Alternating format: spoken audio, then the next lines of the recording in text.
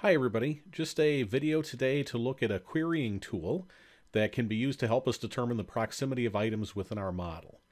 For example, I've got a number of proposed alignments that are currently laid out on a site that contains a large number of trees. Some of these trees are desirable, some are less than desirable, uh, perhaps some are legacy trees, which I would absolutely need to stay away from. In any event, I need to create a list of any trees that are impacted by our road improvements so that I can factor that impact appropriately into our design and then make any revisions, you know, as required. So to do this, let's uh, bring in some trees so we can see where all these might be. So I'm going to grab a shapefile here. I've actually got a number of shapefiles for this project. We'll bring in the one, the shapefile that's appropriate with this particular area.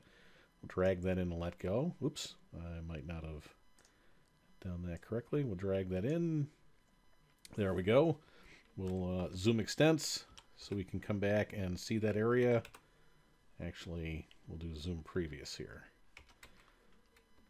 We already had a zoom extents. So zoom previous, we can see the uh, the trees in this particular area. Now, my goal, um, these trees were perhaps shot by an arborist, which is why they're in a shapefile. If we were to drill down and look at any particular tree, we would see that there is uh, information here that we drag this onto the screen that contains information about the species, um, DBH, the diameter breast height, uh, condition, multi-stem.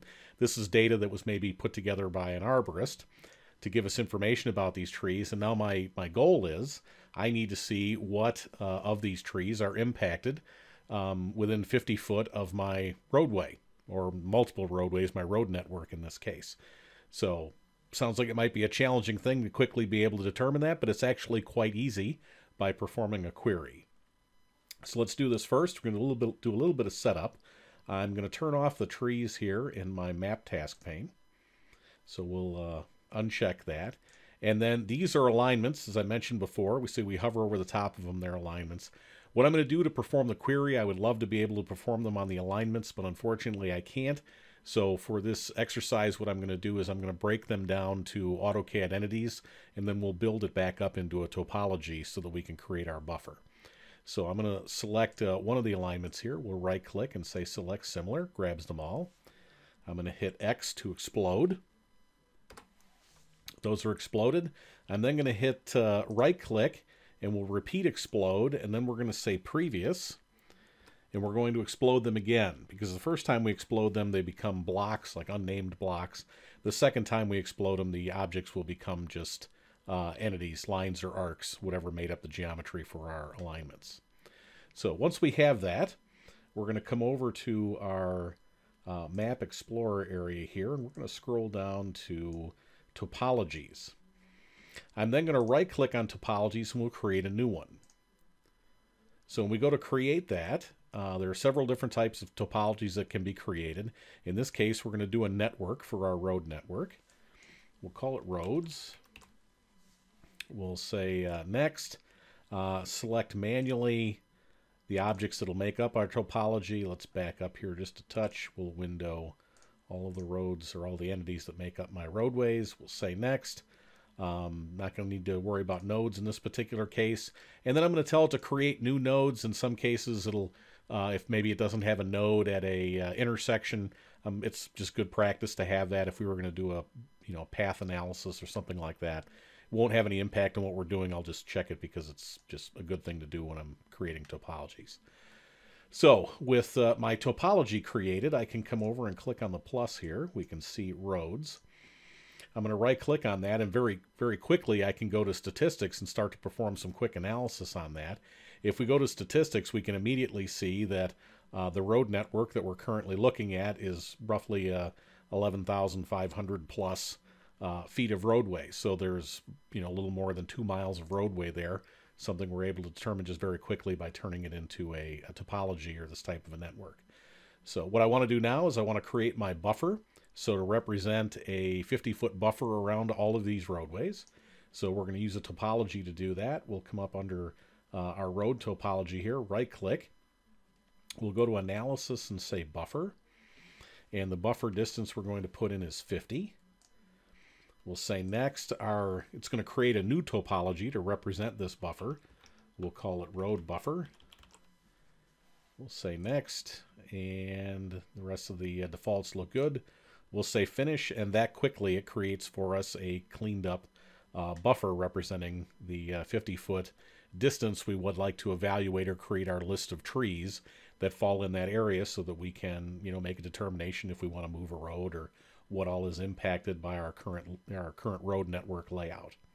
So with that done, let's go ahead and go back to the display manager and turn on the trees. And then what we'll do is we'll isolate these trees based on a query so that I can see which trees are impacted.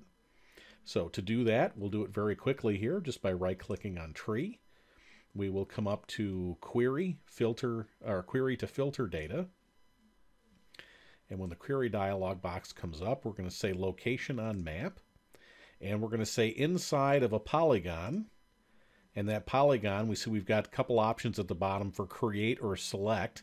What I'm going to do is we'll hit S for select and then select the largest boundary here, which would be the entire uh, perimeter of our road network. And then we'll start to carve out those things that we don't need. So we're going to start with that, and then we're going to say and, go to operators here, and we'll say not, and then we'll say inside this polygon, we'll hit S for select, and then we'll grab this one. So I'm saying I want everything that's inside the larger one, but then I don't want or not the things that are inside this one. And then we'll do one more here. We'll say and not, and we'll say inside polygon. We'll hit S for select. I could select uh, this guy to eliminate that one. And then I can continue to work my way across. There's two more that I can select, but it doesn't look like it would remove any more trees. Um, so we'll go through and build our formula here to determine that. From there, I can take and validate that. So we'll validate it. It says my expression is valid. We'll say OK. It performs the analysis, and there is my uh, trees that are impacted. From there, we can just go ahead and select uh, one of these trees, and I can do Show Data Table. It immediately shows for me all of the trees that fall within that uh, within that boundary. Now that it's been isolated, I can see their species, diameter in that, and then from there, um, we have the ability that we can take and export that to a number of different file formats so that I could uh, look at it in Excel or HTML or Word document, whatever the case may be. Uh, it would allow me to create my list and be able to determine that. All right. So very quickly, uh, we started with a roadway uh, network as represented by alignments. We had some trees that were brought in with a shapefile. And within the matter of just a couple of minutes, we were able to perform a query and determine exactly which trees will be impacted as a result of that proposed network. So I hope this is helpful and look forward to talking to you again. See ya.